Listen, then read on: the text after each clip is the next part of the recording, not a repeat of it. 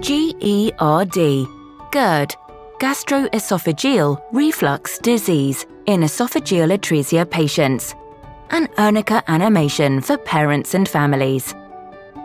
Esophageal atresia is a rare birth defect where a part of the esophagus, the tube connecting the mouth to the stomach, is missing. This animation aims to show you what gastroesophageal reflux disease is and how it is treated for children born with esophageal atresia. All patients born with esophageal atresia should be treated at a specialist centre with a multidisciplinary team, which is a team of different clinical professionals. Peer support can be accessed through patient and family support groups. Patients with esophageal atresia may experience gastroesophageal reflux disease at points throughout their life after their esophagus has been surgically repaired. What is gastroesophageal reflux disease? Gastroesophageal reflux is when food and acid from the stomach flows back into the esophagus. This is a physiological condition common in infants. Milk or food is regurgitated, which is when it comes back up into the mouth after feeding. Gastroesophageal reflux becomes a disease when troublesome symptoms and or complications are experienced.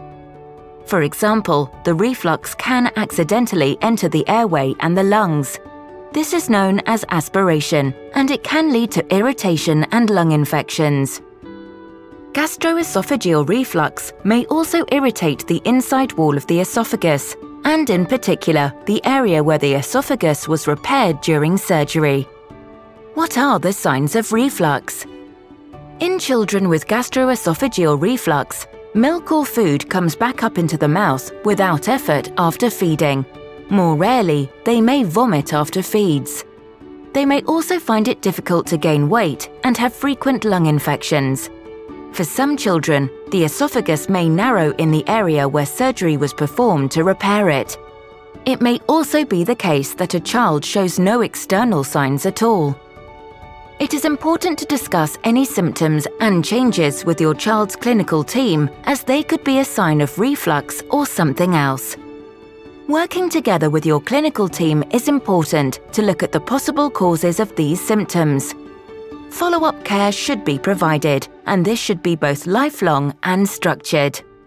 What treatments are available for reflux of esophageal atresia? Medication can be used to treat gastroesophageal reflux.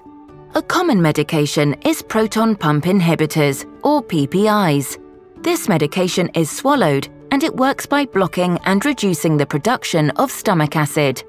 Contents of the stomach still rise up to the mouth, but there is less stomach acid, and therefore less irritation.